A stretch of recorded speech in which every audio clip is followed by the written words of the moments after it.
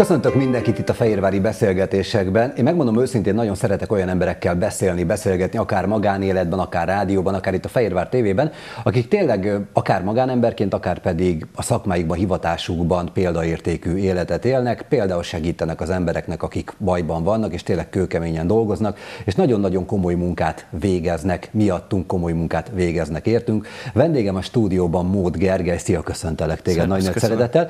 Titulus direkt nem mondtam adás előtt nem beszéltük meg. Én ugye nagyon jó viszonyban vagyunk, ezt elmondhatjuk magánéletben Abszolút. is, ugye, hogy Gergő a mentőknél dolgozik, nagyon sok mindent csinálsz. Ott neked mi a titulusod hivatalosan egyébként? Hát hivatalosan nekem a megnevezésem az mentőtechnikus. Mentőtechnikus. Mentőtechnikus. Uh-huh. Egyik nagyon kedves kollégám mondta egyszer talán egy interjúban, hogy a mentőtechnikus az tulajdonképpen egy Jolly Joker a mentőszolgálatnál, mhm. hiszen uh-huh mind gépkocsi vezetőként, mind mentőápolóként bevethető. Pont ezt tettem volna kérdezni, hogy tudom, hogy van mentőtiszt és mentőtechnikus. Akkor a kettő között az a különbség, hogy a mentőtiszt ő ellátja a bajba jutottat, a mentőtechnikus pedig ellátja és tudja vezetni a mentőt is nagyjából? Ö, igen, csak ugye a mentőtiszt ő magasabb szinten tud ellátást biztosítani, mint egy mentőtechnikus vagy mint egy mentőápoló, hiszen ő, ő főiskolát végzett, és gyakorlatilag egy mentőtiszt ő, ő orvosi kompetenciákkal bír a helyszínen, a mentőellátás hmm. kapcsán. A, míg a mentőtechnikus ugye egy magasan képzett mentőápoló, aki uh-huh. megfelelő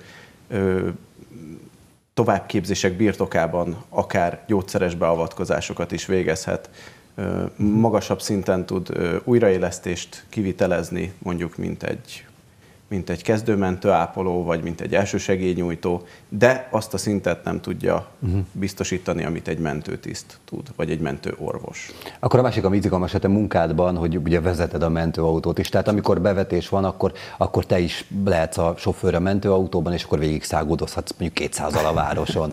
Azért izgalmas, meg azért nagy kívás, én sokat gondolkodom azon, hogy azért ez egy elképesztő veszélyes dolog, mert nyilván az emberek ugye nagy részben előzékenyek, félreállnak, segítenek, még aki úgy tűnik, hogy nem az is szerintem segítene, csak meg van ijedve, mit csináljak, hogy lenne a legjobb, azért megy a bénázás több esetben. Azért az egy kőkemény dolog, nem? Tehát így, így azért ilyen elképesztő sebességgel végig robogni. Hát igen, azt szoktuk mondani, hogy azért a sebesség megválasztás az egy nagyon fontos mm. kritérium annak, hogy hogyan vezetjük a mentőautót. Én mondjuk konkrétan a mentőorvosi kocsit szoktam vezetni, ugye, amit igen. kaptunk tavaly polgármester úr segítségével a várostól, ugye ezt az új Skoda Octaviát, én ezt szoktam vezetni. Uh-huh és hát nyilván egyébként ez pont, hogy egy gyorsabb és Persze. robbanékonyabb autó, mint mondjuk egy, egy nagy mentő. Igen.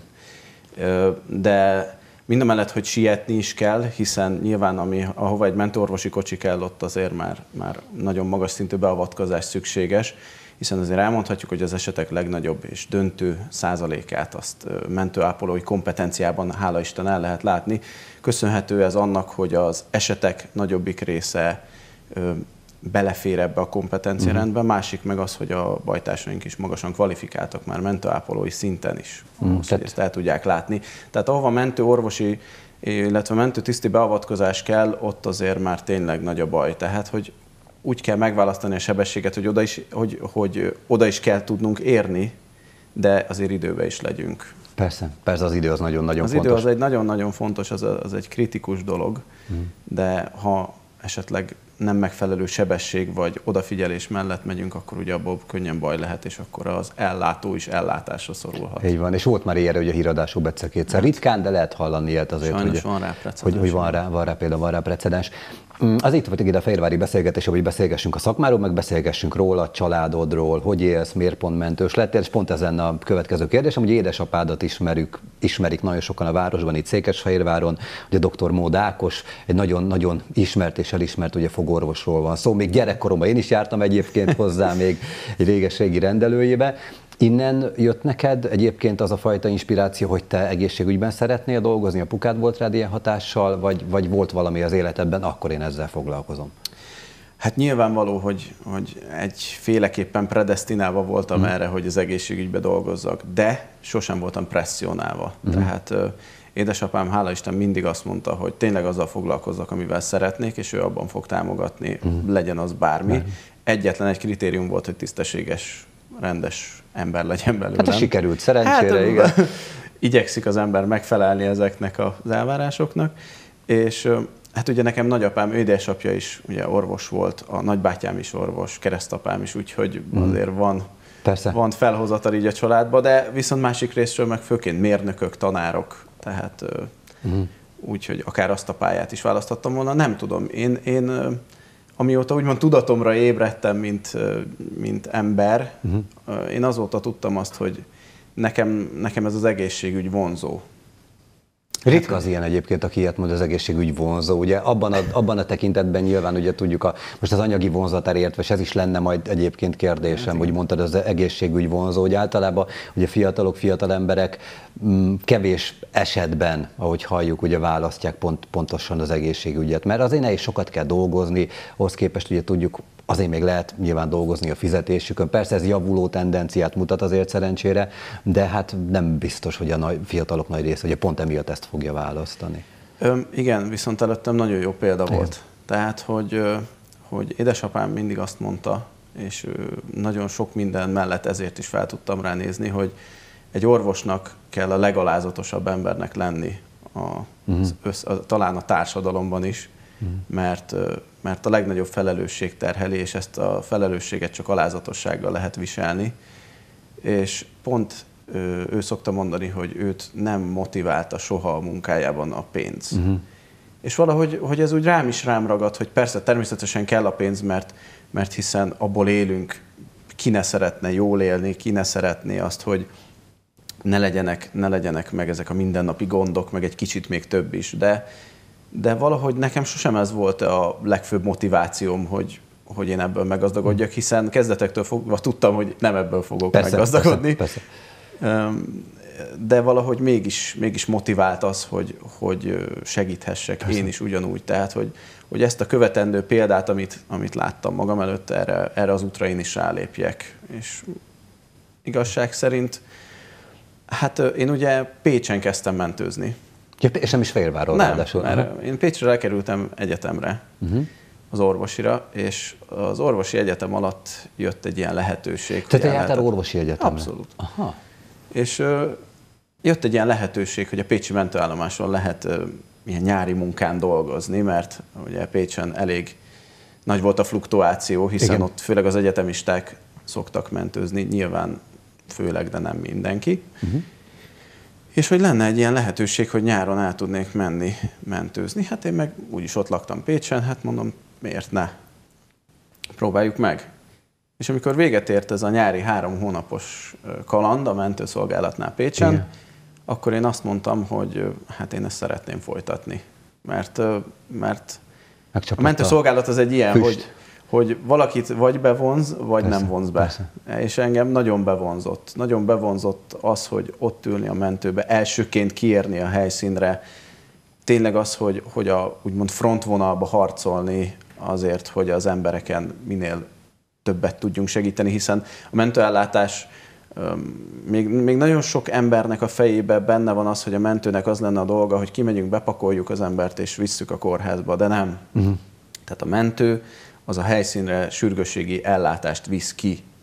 Tehát egy magas szintű ellátó egység, és sokszor, amikor nem értik az emberek, hogy még miért vagyunk még mindig a helyszínen, hát miért nem megyünk a kórházba, azért, mert mondjuk próbálunk egy beteget stabilizálni, hogy egyáltalán szállítható Egyáltalán legyen. indulni vele, igen. Egyáltalán szállítható legyen.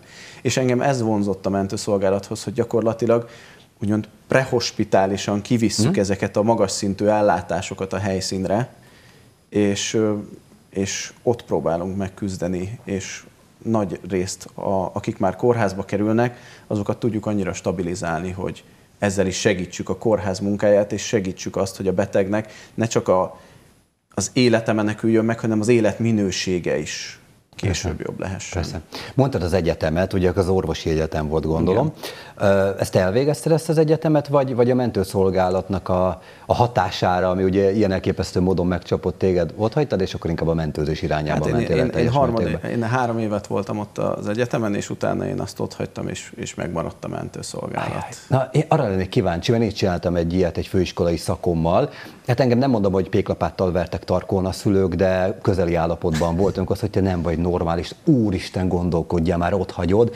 Neked mi volt? Bejelentett harmadévesen vagy harmadév után, hogy figyelj, anya, apa, á, most úgy gondoltam, ott hagyom az orvosi egyetemet, ahol megálltad nyilván a helyet, hiszen eljutottál odáig, inkább mentőznék. A család ezt hogy fogadta, vagy mit mondtak neked?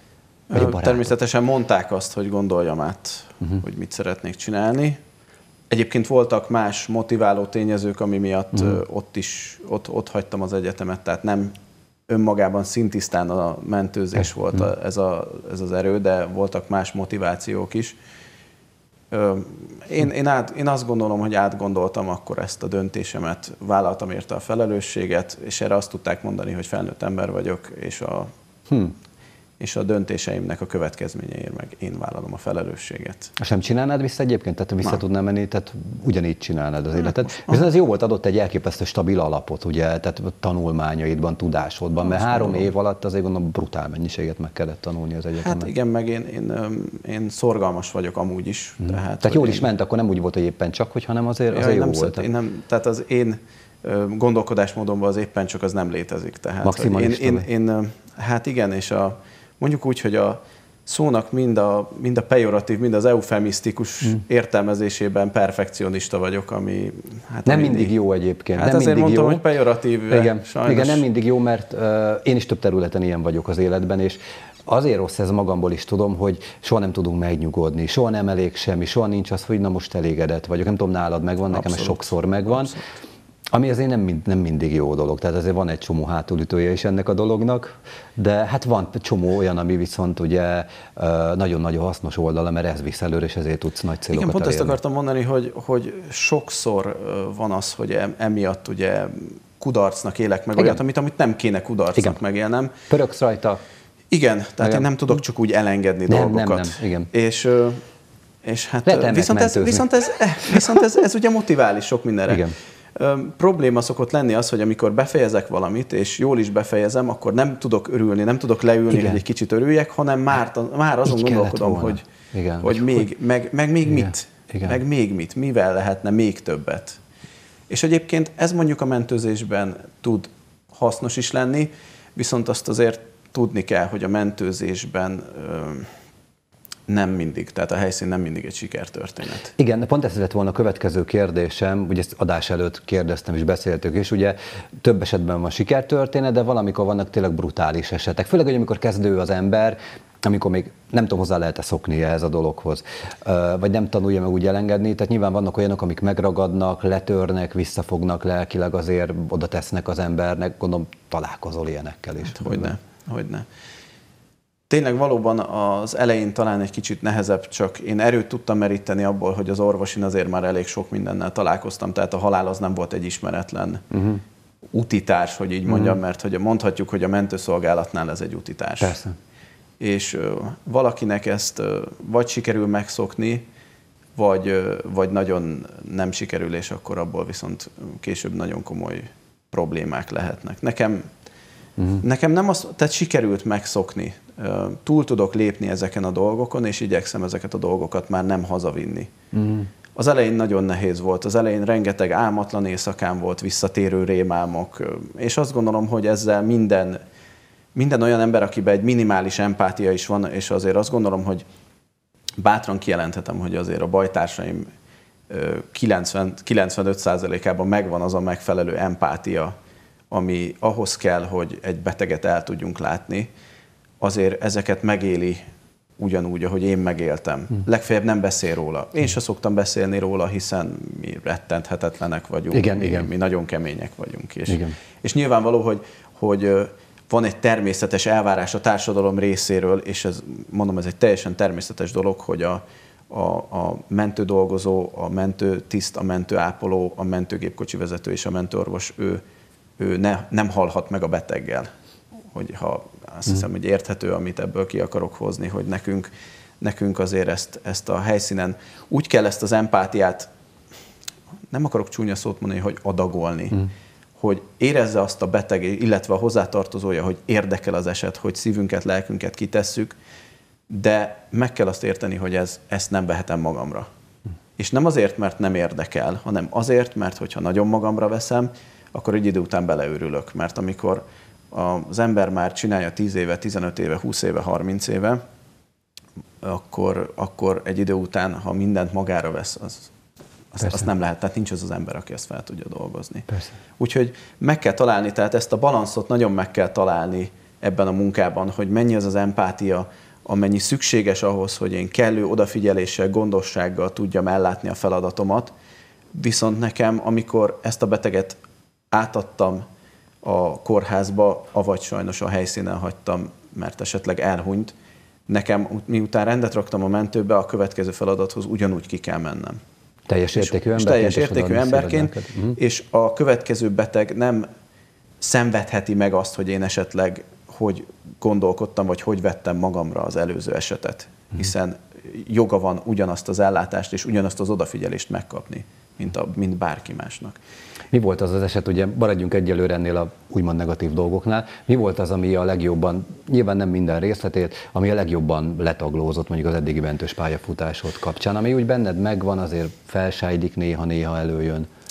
Vagy van hát mindenképpen, ilyen? mindenképpen van több ilyen eset, mm. és ez mindenképpen gyermekellátással mm. kapcsolatos, és, mm. és, a, és gyermekhalállal kapcsolatos. Mm. Ezt a ezt, ezt azt gondolom, hogy ez konszenzusosan az egészségügyi dolgozók körében ki lehet jelenteni, hogy, hogy a gyermekhalál az, amelyik, aki, ami, a, ami mindenkit a legjobban megdöbbent és, és legjobban megérint, hiszen nem, nem egy természetes dolog. Nyilvánvaló egy fiatal embernek, vagy egy, egy, egy, egy, egy életerős középkorúnak meghalni egy balesetben, az sem természetes dolog de valahogy mégis Persze.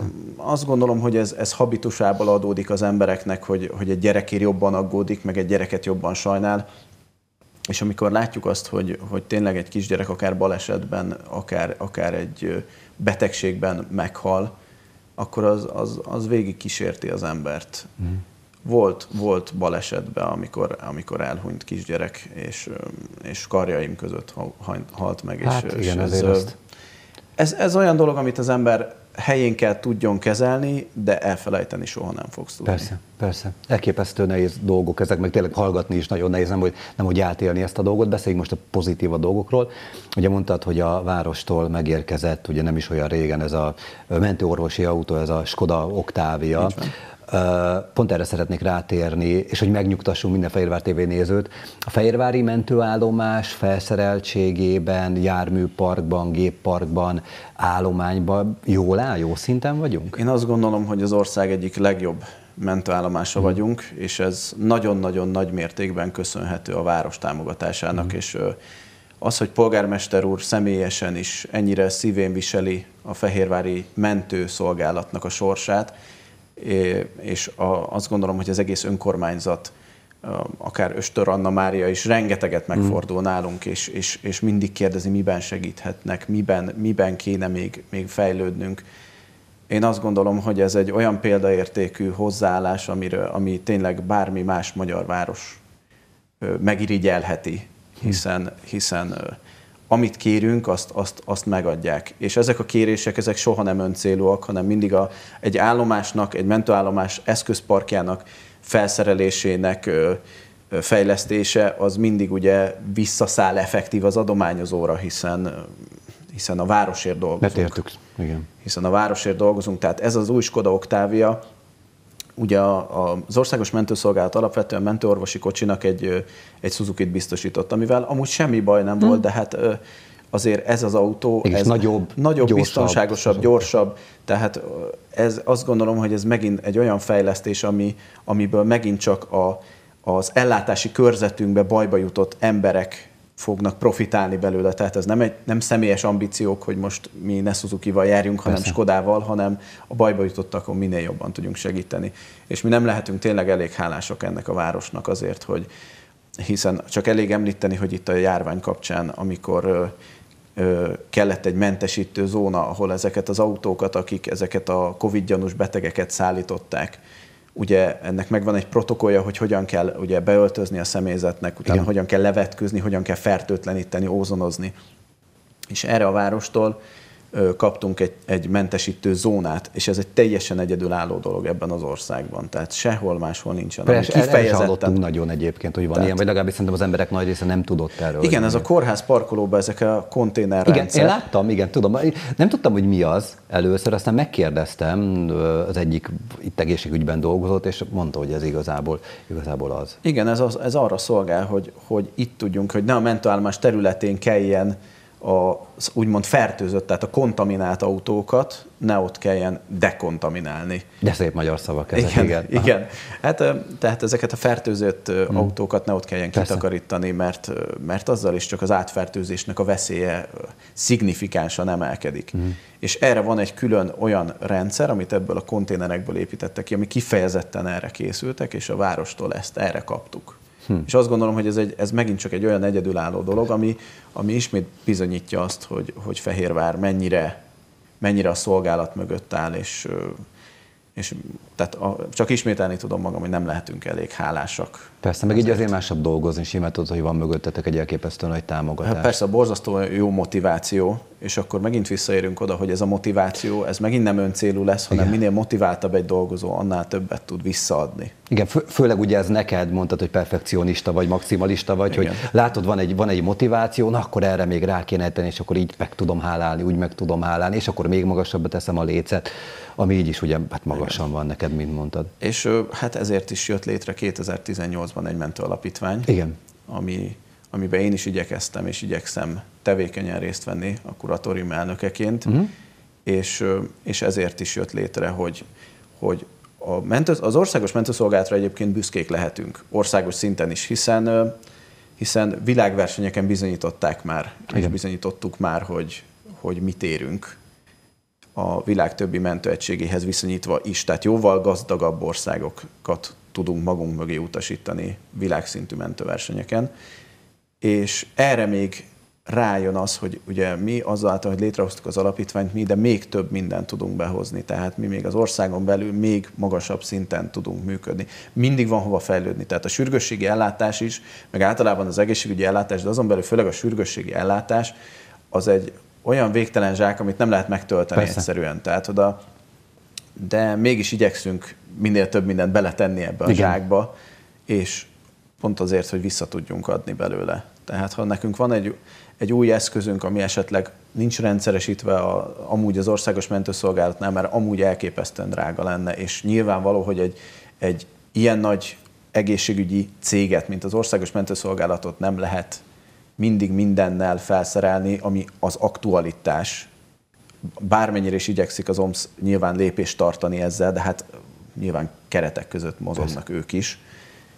De ezáltal, hogy itt a hely, helyi szinten tudjuk ezeket a dolgokat még hozzárakni, azt gondolom, hogy ez, ez az alapítványnak ez a legfőbb célja, és ez motivált engem is, hogy, hogy minél többet tudjunk visszaadni a városnak, és nem titkoltan a saját bajtársainknak is az állomáson. Tehát, hogy minél jobban érezzék azt a fajta megbecsültséget, amit, amit, azt a fajta szeretetet, amivel vagyunk a bajtársaink iránt, hogy, hogy nekik is a munkakörülményeiket is még élhetőbbé, még jobbá, még, még színvonalasabbá tenni, hogy, hogy tényleg úgy jöjjön be dolgozni, hogy ez nem csak egy munkahely. Hiszen ha belegondolsz, 24 órát ott vagyunk a mentőállomáson az azt jelenti, hogy, hogy, sokszor, tehát, hogy sokkal többet vagyunk effektív a mentállomáson, hát, mint, mint otthon. Tehát, mm. hogy ez a második otthonunk. Igen, és, igen. és nem mindegy, hogy milyen körülmények között vagy Persze. itt. És azért nem mindegy, mert, mert, mert ha ott kell lenned, és azt mondod, hogy hát, hát ez a hely az olyan, amilyen, akkor, akkor az ellátásod is olyan lesz. És ez, és ez óhatatlan, tehát ez kivéthetetlen. Viszont, hogyha motiválva van a dolgozó, és megbecsülve van, akkor a munkáján is ez meg fog látszódni. És én, és én ezért is dolgoztam rengeteget, és nem csak én, hanem az egész alapítvány kuratóriuma, és mindenki, amit tudott hozzátett ehhez, aki benne van ebben. Mm. Nagyon kevés időnk maradt a műsorból, beszéljünk rólad, magánéleted. Ugye nyilván nagyon fontos az, hogy kikapcsolódj, hogy elengedd ezeket a dolgokat. Mit csinálsz, mivel kapcsolod ki magad? Hát sok szabadidőm nincsen, mert ugye másodállásom nekem is van, mm. de amit, amit tudok, ezt igyekszem mondjuk edzéssel tölteni. Mm, szeretek crossfitre mm. járni, illetve most így a, a Thai-boxban próbálkozom. Nekem a küzdősport és a sport az mindig is az életnek egy fontos része mm. volt, hiszen ez is egy kis szellemi motivációt ad Igen. az embernek, és segít levezetni azért a feszültséget, ami felhalmozódik, mert azért rengeteg a feszültség, ami felhalmozódik, de ez segít levezetni. Öm, igazából a, a mostanában elkezdtem otthon ilyen, ilyen főző, főzőcskézek. Szeretek Ezt akartam főzni. megkérdezni, főzése hogy állsz, de akkor... Hát úgy, hogy most, így, most így, így befizettem magam egy ilyen főzőtanfolyamra, hogy, hogy ilyen kicsit komolyabb ételeket is el tudjak Kérem. készíteni. Hát igen. A ritka a fiúknál az Nem- ilyenfajta nem, dolog. nem tudom, nagyon nekem hallottam. ez így kikapcsol, ott, el tudok én így órákig mahinálni a De konyhába. Na jó. Meg a kutyáimmal foglalkozom rengeteget. Na, Tehát akkor feltalálod magad Fel, belőle. meg ha, am, am, amit nagyon szeretek, az még az utazás. De hát ugye abban az utóbbi időben E, igen, igen, ugye melléket maradt, ábra úgyhogy- mutatja, igen. Sem a szabad idő miatt ugye kevés van, a másik pedig ugye a Covid Hát igen, és emiatt is találtam ki magamnak ezt a főzést, mert ez otthon is űzhető Igen, meg tevékenység. akkor jó, főzöl magadnak kínait, olasz kaját, és mint hogy olyan lennél. Rákapcsolsz valami Meg csatornán. ugye az egyik kutyám, tehát van egy border collie azért ő elég sok elfoglaltságot ad. Igen, Tehát, igen. hogy ő, ővel azért futni kell, majdnem Persze. minden nap foglalkozni, trenírozni. Persze. Ezekkel. Úgyhogy akkor el vagy. Gergő, én köszönöm szépen, hogy itt Hát voltál én köszönöm velünk. a lehetőséget. És önöknek is köszönöm, hogy itt voltak velünk. Tartsanak velünk legközelebb is itt a Fehérvári beszélgetésekben.